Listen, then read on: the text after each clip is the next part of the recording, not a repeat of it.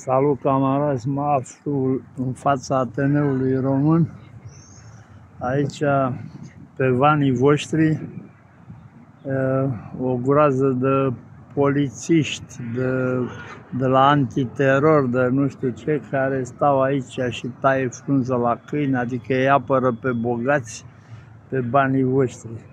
Uitați acolo și e o mașină albastră, să vede, e antiterorist, dar nu prea avem teroriști în România, dar nu-i nimic, banii voștri sunt buni la tocat, știți? Uite, acolo vedeți doi de la jandarmerie, știi, unită specială, probabil antiteror, aia doi cenușii, așa, și mai sunt vreo 20 și îmbrăcați și în civil. Aici e banii voștri să, să toacă ca să-i apere pe, să apere pe bogați, știi, că așa a fost și pe vremea comunismului, cu banii poporului să apăra elita, nu țara și poporul, să apăra clasa elita ticăloasă care a subjugat România 42 de ani, trădătorii de neam și țară, știi, și poliția și uzlașii și toți ăia, adică miliția, uzlașii și securiștii îi apărau pe ei, nu țara, nu poporul, poporul era dușmanul, uh, am fost călcați în picioare de ei, așa e și acum, vedeți? Aici v-am zis, aici pe lângă Atene, în momentul ăsta, sunt cel puțin 30-40 de jandarmi de la unități speciale antiteror, uh, de la uh, SRI, de la tot felul, uite, și pe acolo mai sunt niște mașini speciale cu cine știe ce tehnologie ultramodernă, că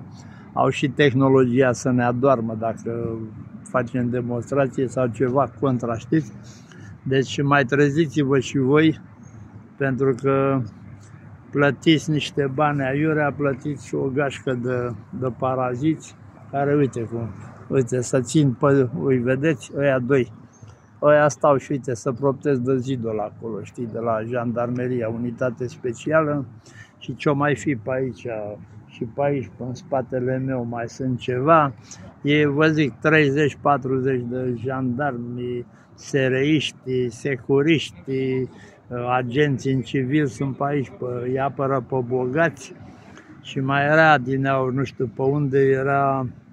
ă, pe Bulevardul Dacia, la ambasada Belgiei, tot așa, erau vreo două mașini de jandarmi, agenți în civili,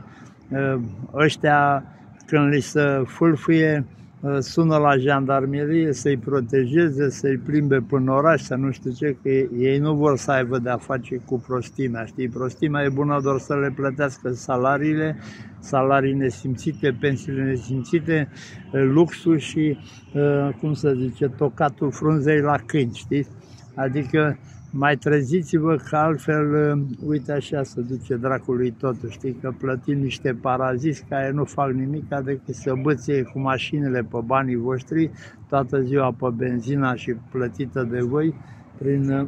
prin București, prin țară, peste tot,